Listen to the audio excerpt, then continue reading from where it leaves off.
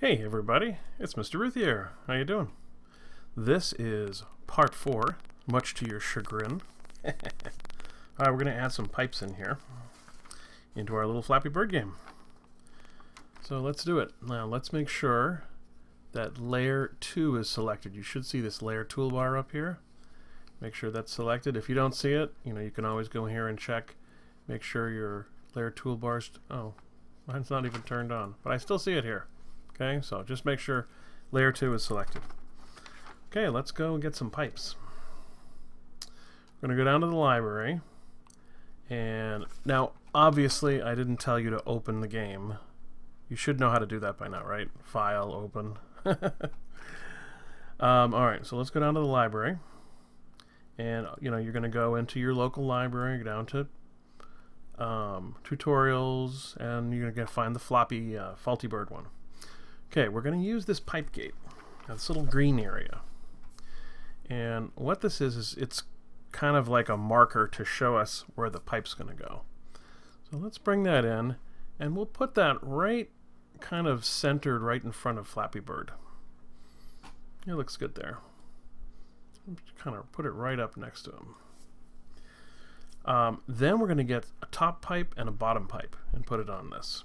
Okay, so let's go back down here and you can see we've got pipe top active. Let's drag that out.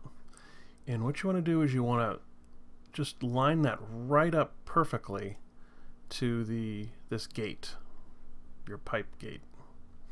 And let's go back in and find the bottom piece. See it says pipe bottom active. And again, line that up perfectly. And what we're going to do is we're going to um, attach these, it's called pairing, we're going to attach these pipes to this little um, pipe gate area.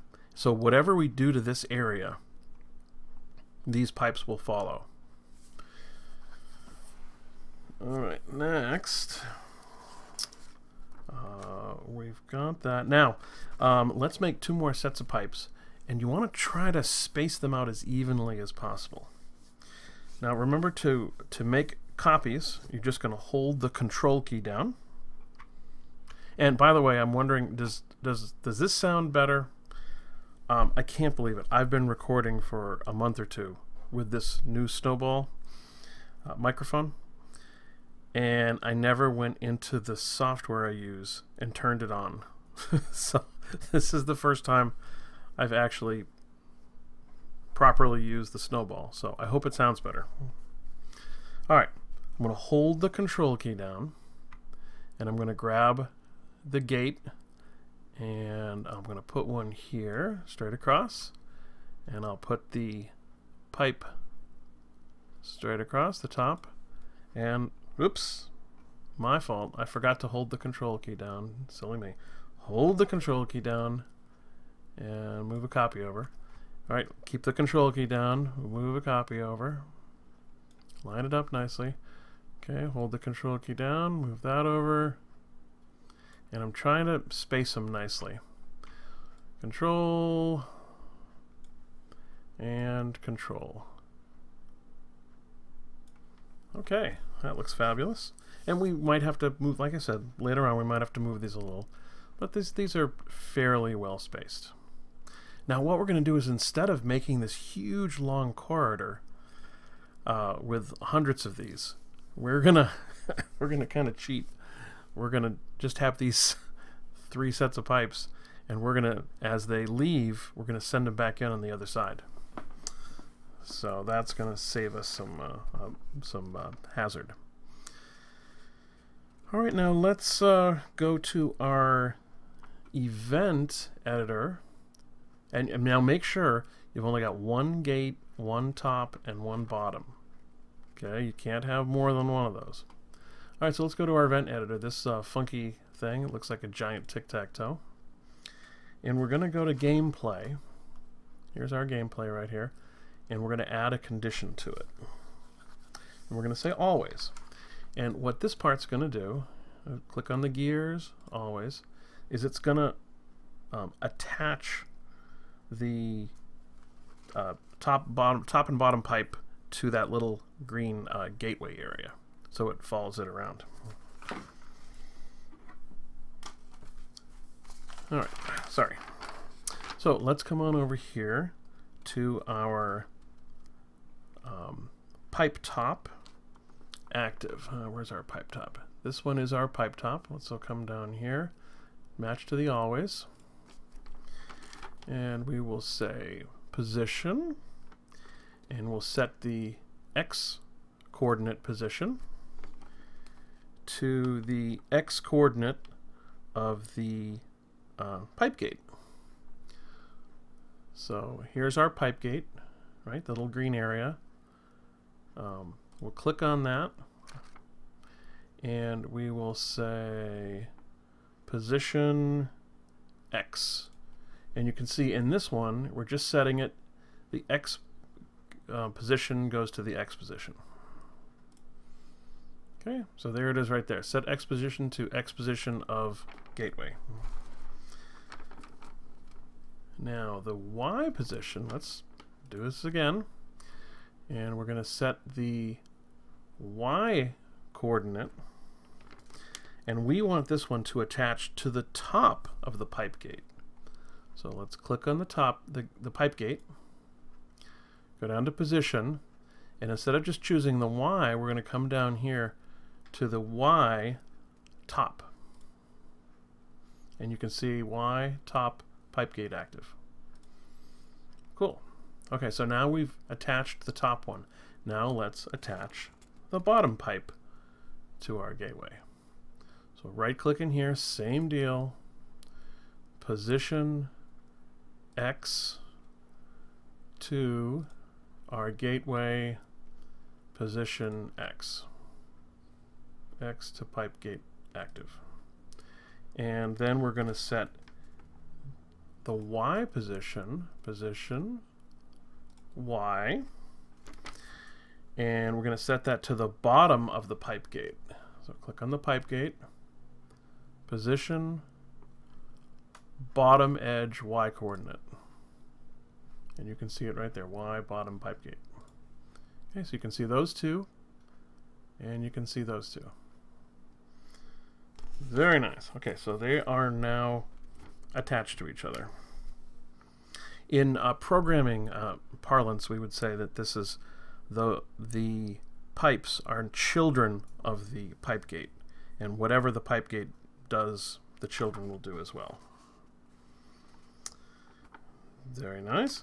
Now, why don't we make it so we make these things start moving? Because right now, if we play the game, you know, nothing moves but our little guy here. Because we haven't started them yet. So let's go into our gameplay event. Gameplay, new condition. And we're going to use that one we used before. Uh, right click on the gear, limit conditions, and we're going to say only one action when event loops. And what we want to do is we want to crank up the pipe gate. So go on over to the pipe gate, that this green thing, right click, movement, start. Very good. Now, if we test it, watch what happens. Woohoo, we're moving. Okay, but sadly, the pipes went away. Well, how can we fix that? Uh, what we're gonna, this is called wrapping. We're gonna tell it to wrap around the other end. So here's another gameplay event. There's our, this is our third one. So we're going to right click in here and we're going to say, okay, pipe gate, when you leave the field on the left, uh, remember we did this in Choco Break where we had the, if the ball left the field on the bottom, it did something? Well, we're going to go to position and we're going to test the position of the gate. And when it leaves, see how it's, see the arrow leaving? We're going to click on that arrow leaving to the left. Okay, so it says when this leaves the play area on the left, we want it to wrap around to the other side. Okay, so let's go over to the pipe gate and tell it to wrap. yeah, that sounds funny. Uh, Lil Yachty would uh, laugh at that, wouldn't he? Okay, so we want it to wrap, and if we click on movement and come down to wrap around play area, it should wrap around in a nice little loop. Let's test it out. Click on it, start the game, and it's wrapping. Okay, now notice how they're not really spaced out very well. That's our fault for not, that's my fault for not spacing these nicer. So if I want that to be a little better, I can go back to my frame and I can uh, space these out a little better. Uh, how would I do that? Well, I could try taking these and just moving them over a little bit. Seeing if that helped it be a little bit better.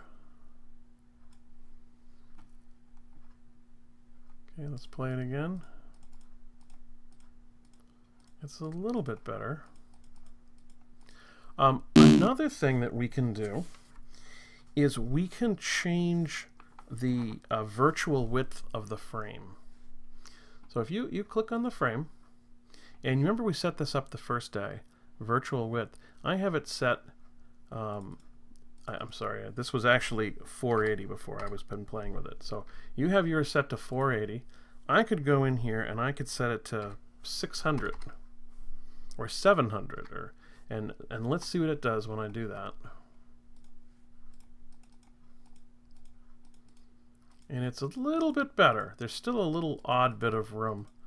Um, uh, so I could I could tweak this virtual number uh, maybe I want it to be 620. Let's see what happens if I do 620. And I can try to get this to really um, be spaced properly. And you can see it's close. So that's nifty. Okay, well that is uh, that is lesson four, and you know there's still more to go. Um, but I will obviously I will be out uh, next week with my uh, knee operation, so we'll have to kind of put this on hold for a little while. Okay, well, thanks for listening, and I hope your Flappy Bird game is going well. Bye bye now.